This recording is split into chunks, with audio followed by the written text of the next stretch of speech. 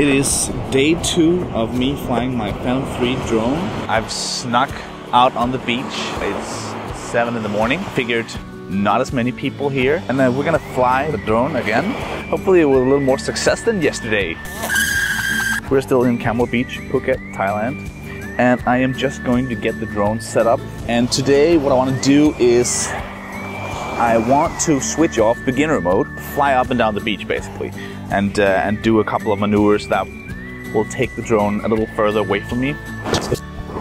So yesterday I made two mistakes. First mistake was that I did not calibrate the compass, which is stupid really because I've seen lots of people do it on YouTube.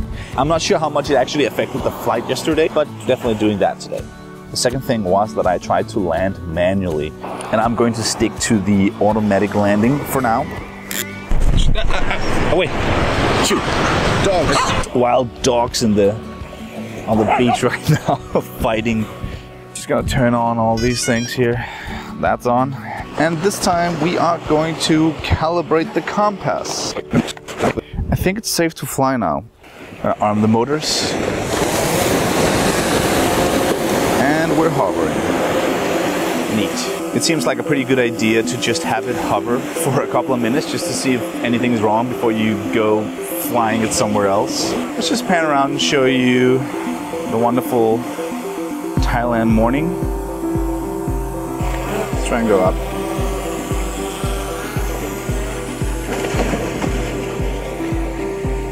Whoa, that's cool. Okay, we're 90 meters up now. Have a bit of fear of heights. Getting a weaker signal because we're this high up.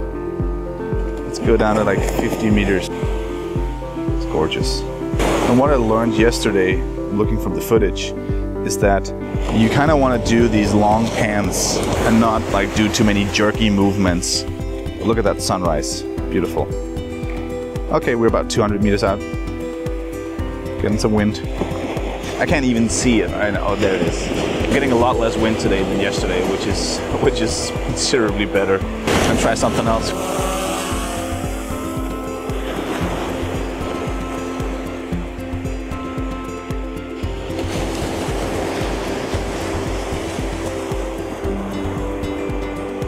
Amazing.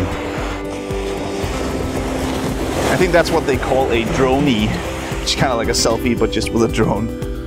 Yeah, you want to get these as long as you can pieces of footage. Great weather flying. It's almost no wind. This looks amazing. I want to do this every morning. It's cool. You can just kind of explore the area. I mean, the closer you can actually get to the ocean, the more of an effect you'll get when you pull back, right? But also, the closer you'll be to the ocean.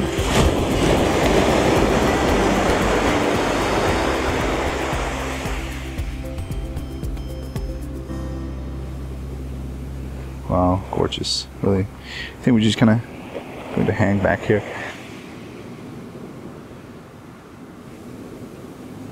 Okay, let's bring you home. Got about five minutes left on the battery. The battery is pretty good. I mean, I've seen other drones where you fly them for 10 minutes and then it's done.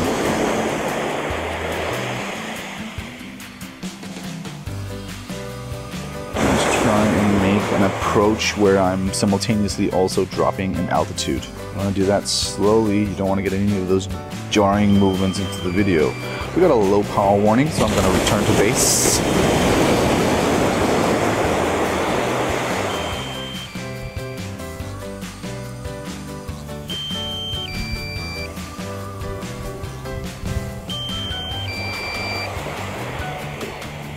Let's see if we can land this thing more beautifully than we did yesterday.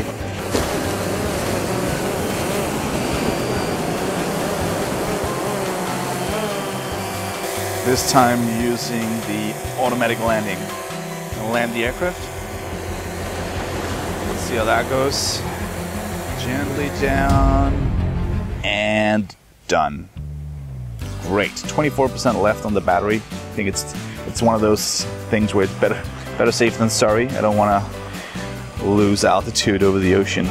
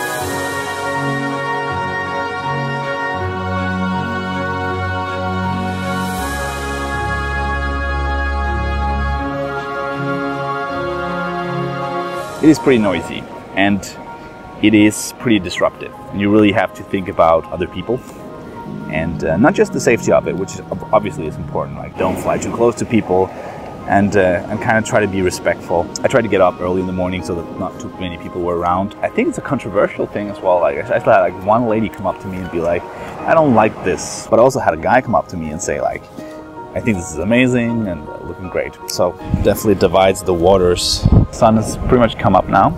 I'm gonna close up the back, charge up all the things.